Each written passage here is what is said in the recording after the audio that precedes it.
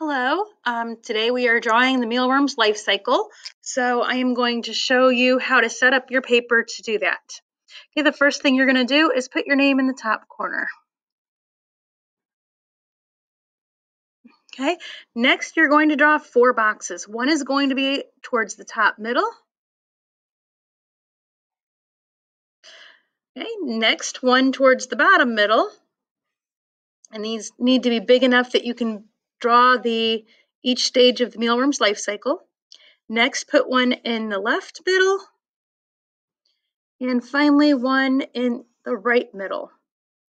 Okay, now that you have four boxes, you're going to draw arrows in. We're going to start with the egg is going to be here. So after the egg comes this stage. Okay, and using your reading, you're going to know what that stage is. And then an arrow to this stage.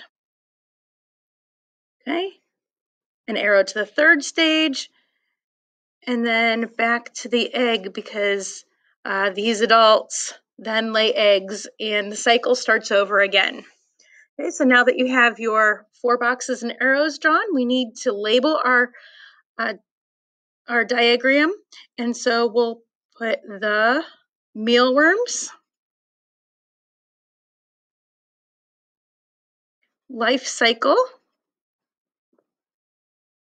Okay, right in the middle of the page is where we'll put that.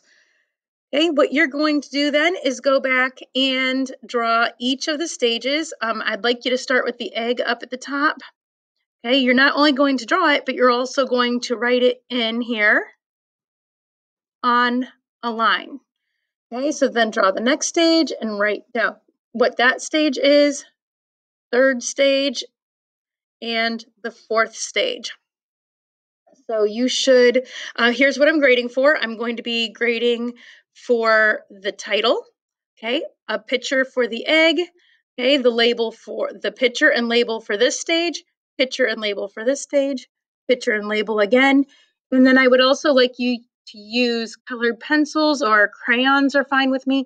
Actually, markers are fine too. So I just would like it colored in. So th that is what I'll be grading for.